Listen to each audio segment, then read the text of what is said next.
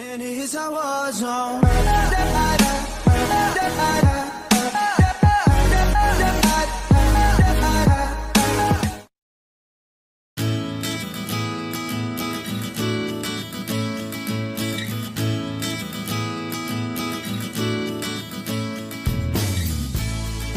Counting on star Jinger Duggar is happily married and expecting, and she wants to help other girls find the same. Counting on star Jinger Duggar is happily married and expecting her first baby this summer, and she wants other ultra-religious girls to experience the same joy.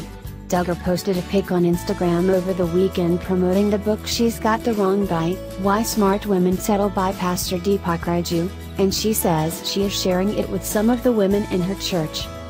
Duggar married Texas pastor Jeremy Vuolo in November 2016, and the couple has a baby due in July, but she is spending some time right now helping single Christian women learn how to avoid bad boys.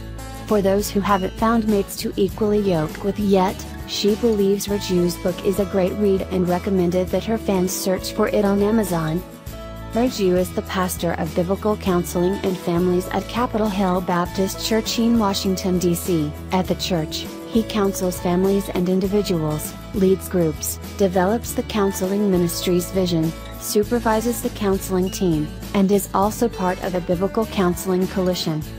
Reju says he wrote the book because some Christian women settle for the wrong men when they can't find a religious guy and struggle with their faith. In a blog on the Biblical Counseling Coalition website he used the example of a woman he knew from church who spent time with a non-Christian, and as she grew emotionally attached to him, it became easier and easier to compromise. He then said that he wrote the book about who not to marry and gave a list of the 10 types of men that single women should avoid. Reju's list included, the control freak, the promiscuous guy, the unchurched guy, the new convert, the unbeliever, the angry man, the loner, the commitment phobe, the passive man, and the unteachable guy. The author wrote that some men will do everything in their power to charm, manipulate, and win your affections. He says they will sell themselves as a decent bill of goods and the kind of guy you want to marry. But, if you find yourself with the kind of guy that is on his list, he says to be very careful.